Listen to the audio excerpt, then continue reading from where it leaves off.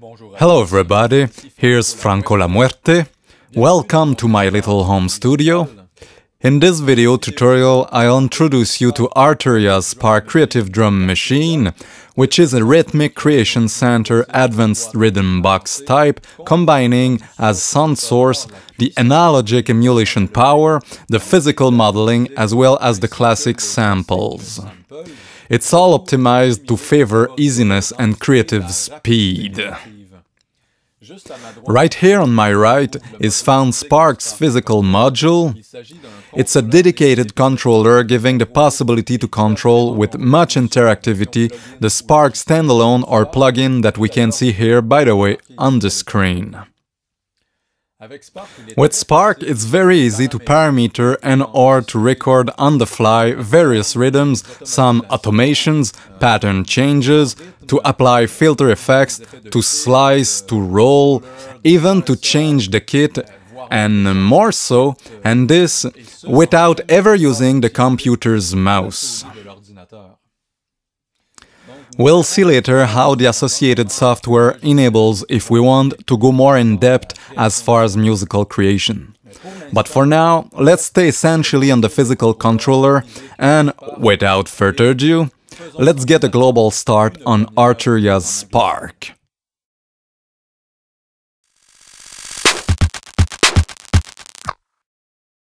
Before moving forward with the Spark software, make sure your Spark physical controller is connected in USB and if you use USB extension cable like me, I advise you also to feed your Spark with a 9V adapter. During the first launching, the Spark software would probably show Spark project using the first 80 Studio Drums kit by default, a project contains a kit plus the associated patterns, including the automations, so if I press on the play button, it's the A1 pattern that we hear with the 80s Studio Drum kit. This section here contains the 64 patterns that are possible to record on Spark, all in four banks named A, B, C, and D. Each bank contains 16 patterns. So, by clicking for example on C12, once the A1 pattern has completed its cycle, the sequence has the C12 pattern heard and so on for the other patterns.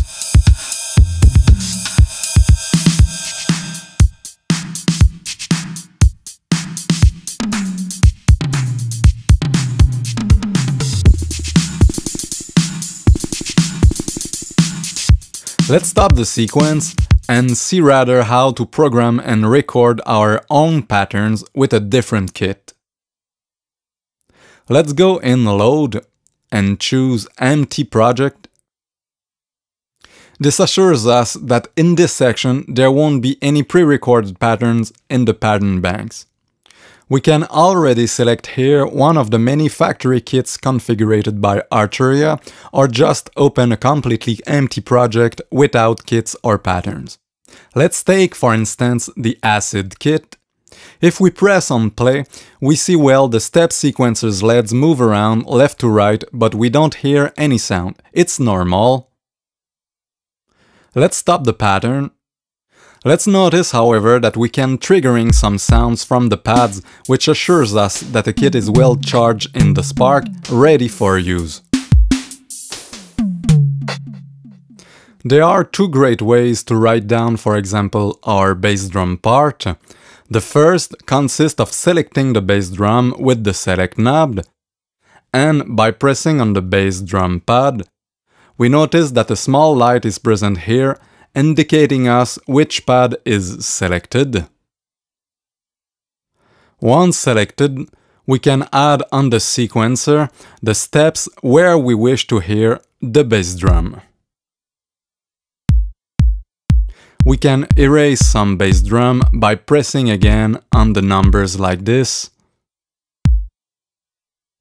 Let's stop the pattern The other way consists in recording the bass drum by playing on the pads at the desired rhythmic spots. This requires a little musical skill but enables to be more reactive and often creative. Let's activate the empty pattern sequence. To have a rhythmic reference, let's activate the metronome by pushing on Select plus Tap. We now hear the metronome sound with an accent on the first beat, so we don't lose the measure's reference. What I like to do is to practice my bass drum part during the pattern, and once I feel ready, you need to press record and record the bass drum.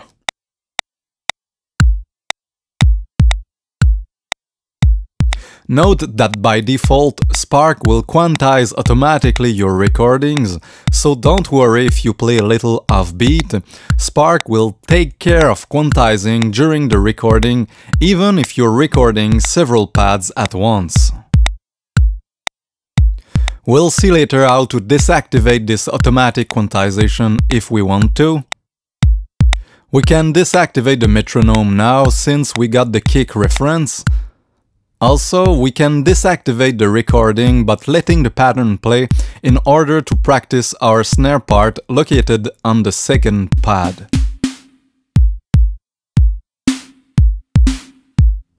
Once we feel ready, we've got to push the record button and record our snare.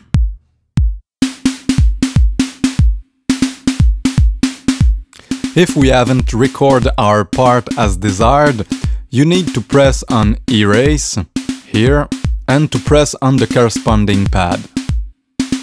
By deactivating the record button, we may practice our part again and when we feel ready, once again, you need to click one more time on record and we can start over the recording. Let's add the hi-hats now.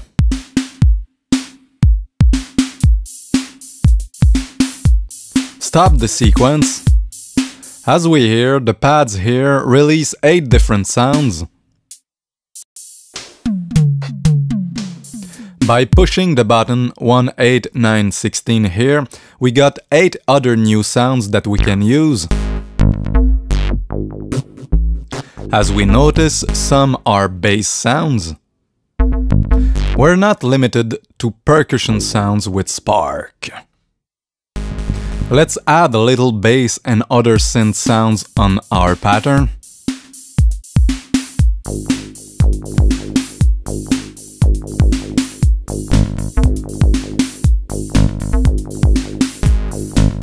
To create another pattern, you need to select another empty pattern you choose, for example, simply A2, and we can parameter and or record a new pattern.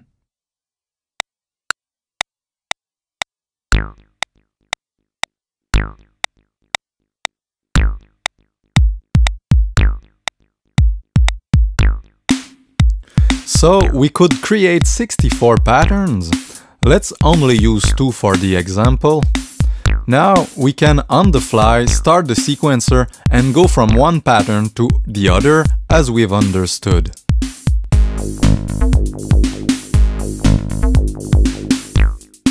We can copy paste a pattern by pushing on select plus erase we can push on the pattern to be copied and select another place to paste the pattern. The advantage is that on this freshly copied pattern, we can add or and take off some elements in order to create variations in the same rhythmic nature. For example, let's take off the bass drum by selecting the associated pad and by pushing on the sequencer where the bass drums are written or by pushing on erase and on the corresponding bass drum pad. Let's add a little more bass with pad 6 of the second portion of the 16 pads on this pattern.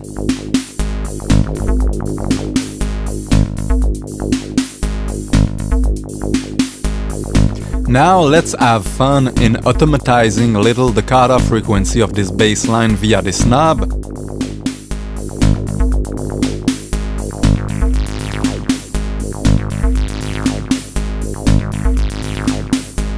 we notice that the movement is recorded only for this pattern,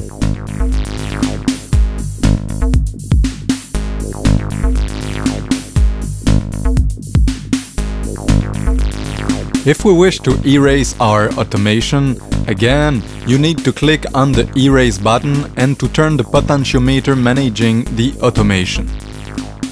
If we want to hear our pattern with another kit, you need to push on the big button here for one second, then when change kit is clearly apparent, we can surf among the kits. When we wish to use one of them, you have to push the button to validate. Obviously, the sound's nature and the layout of the various kits pads may provide varied and surprising results.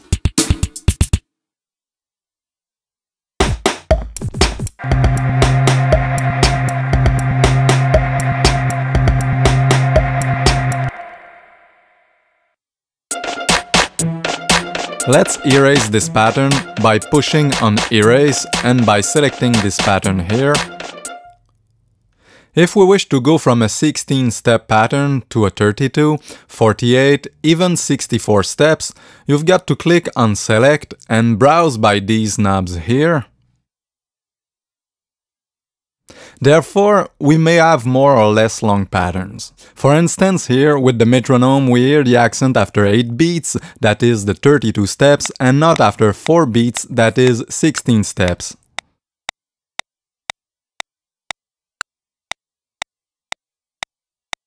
Let's record a pattern on 32 steps.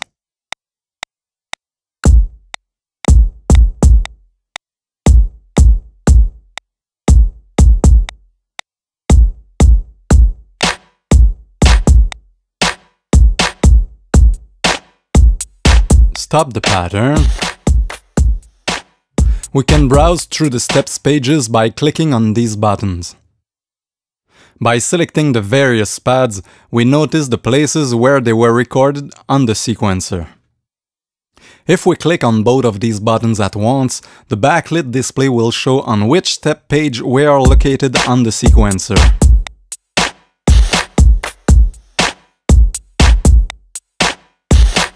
The accent function here enables to place an accent on certain pad steps in order to dynamize the rhythmic articulation of the patterns. Let's record a pattern with 16th note rolls on a hi-hat and let's place some accents on the hi-hat part.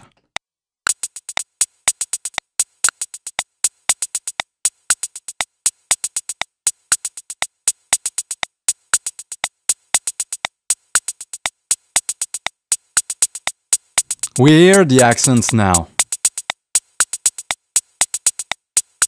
The shuffle function here enables to add swing to the groove. This will be particularly audible with a pattern that lets small rhythmic figures be heard successively like 16th note rolls on a hi-hat, for that matter.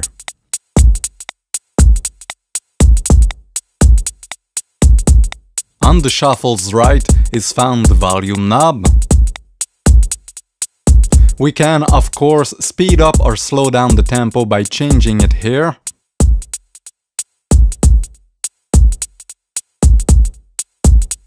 Furthermore, we can define this tempo by pressing the speed manually on the tap button here.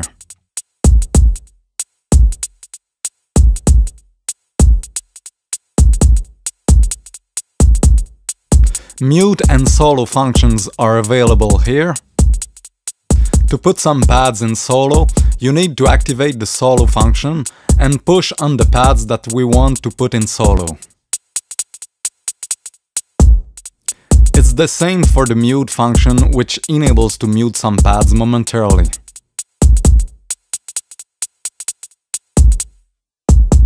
So this is the end of this first part on Spark.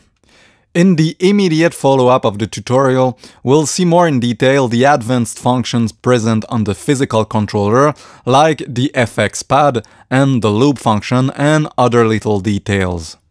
Later in the training, we'll study the various possibilities typical to the software, as well as its integration in a digital audio workstation such as Cubase.